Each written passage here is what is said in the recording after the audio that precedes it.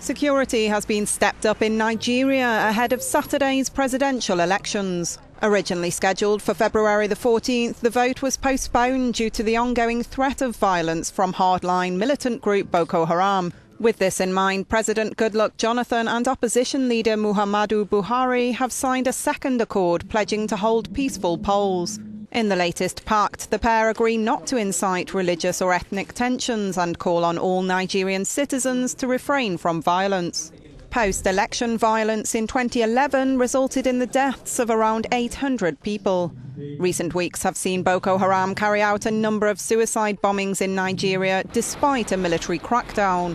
In an attempt to guarantee people's safety, the country's land and sea borders have been closed in the days running up to the vote, and spot checks are taking place.